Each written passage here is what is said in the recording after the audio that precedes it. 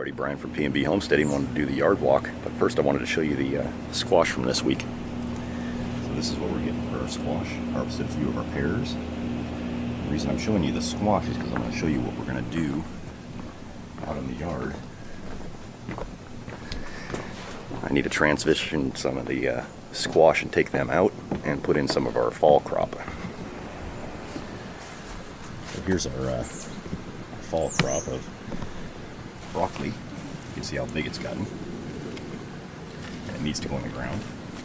There's some of the scragglers. We'll probably put those somewhere. But these are going to end up going over here where the squash is starting to show its downy mildew. I figure instead of trying to fight the downy mildew, I'm going to harvest off the, uh, the squash like these patty pans. I'm going to take some of these out. I might leave this patty pan over here. I'm going to get rid of any of the squash back in this area to uh, replace it with all the broccoli in this box. This box will be all broccoli. We do have enough squash in other areas that we're not going to really miss having one or two plants taken out. So as you can see the downy mildew starting to show up. I want to get rid of this stuff before it uh, you know, wastes the space. Because now's the time to put in the, uh, the new fall crops. See, here's our Monte Cristo beans, they're doing okay. I mean, it may have been too late for these guys to really take off before fall gets here, so we probably won't get any beans out of those. Sweet potatoes are doing well. We do have the squash all in this box here. You know, we've got plenty coming in. You know, more zucchini down here that's ready to harvest. We still have some we haven't even eaten on the deck up there. So, you can see the sunflowers. They're getting tall. Starting to open up. A little back shot here. They're starting to open up and look nice. Got plenty of tomatoes. Got to go through and harvest today, this weekend. Got more squash coming on down there. I mean, you can see there's tons of yellow squash we're going to have for fall, so a few plants being taken out in that other box aren't to really matter. Looks like we got some more in here forming. Tomatoes have overgrown the pathway as usual. Coming off that trellis that I put in, or it's really starting to feel the burden of the weight. Some more cherry tomatoes back there to get. Let's see what we got here. Boy, this fig is really taken off this year. I'm gonna need to get this guy in the ground somewhere. Might end up putting him in the front yard.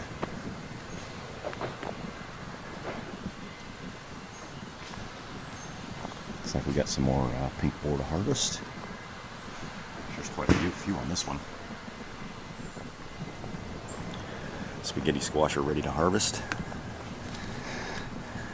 You can see they got the nice yellow. That one there is definitely ready. I'll probably take that one this week. Once they get that golden yellow color, they're ready to go. Let's see, let's go this way. I'm show you the. There's some more tomatoes. A lot of cherry tomatoes we need to get this week. Looks like another great griller down there.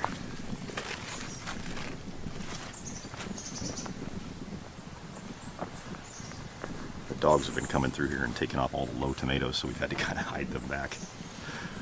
Because if you don't know what happens when dogs eat tomatoes, they get the uh, the runs. they eat too many of them. Oh, and then I didn't uh, I didn't show you guys the little the little dwarf pear we have here. They got so loaded down with pear. I had the top laying over here, but uh, I guess it just got too heavy and it snapped off its top. So I don't know if I'm going to take this pear out or not. I might leave it, let it grow another top, or I might replace this with a more hardy pear. Like I haven't, uh, you know, we have the sprouted Asian pears, like that one over there. So I might actually replace this little pear here, just chop it off, and then replant another pear there. I've never been too happy with the dwarf pears. They're just so small and they're so delicate. They get loaded with fruit, they just kind of tumble over. The Poona Kheera are doing really well. I mean, we're getting a ton of cucumbers off this thing. I mean, these are beautiful. They taste great. We've given quite a few of these to some of our friends and neighbors. And they really like these things. Even when they get to a bigger size and they start to get the uh, golden color on the end, like this one, they start to get a golden color. And, they, and then it'll turn all the way through it. They say that's when the flavor really comes out of those. I mean, they may look a little weird. They look like they're burned almost, but a, they taste really good. As you can see, we've got tons of them coming on in this thing. Next year, we're gonna we're really gonna put a bunch of these in the yard because I mean, look at all the flowers. If all those set, we're gonna have cucumbers all the way up through frost. Then we got our gherkins, our Adam F1s. They've been producing a lot. Can't really walk back here anymore because we got so many cucumber vines going, beans going across here. You can see we got Monte Cristo beans all over. These are really good, especially at this size. They're really tender. And of course, we've got more tomatoes over the trellis here. A lot more harvest here. Up through there. Let me give you a shot underneath here.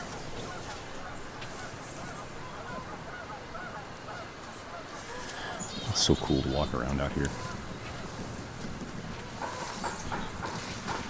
And we got more more beans here to harvest. You can see they're just all over up through there. Our dogs are out chasing something now. I can hear them.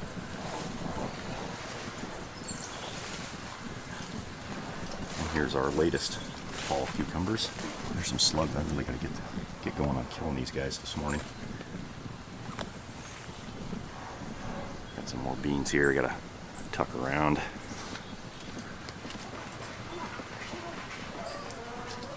this sit there.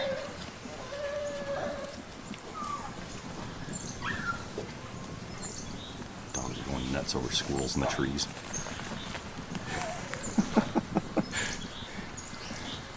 The Asian pears are starting to turn. We're getting a nice little bit of yellow on them. There. That's kind of the uh, the update for the lower yard. Now I'm gonna go take you guys and uh, walk you up through the upper yard in the next video. All right, talk to you guys again. Bye.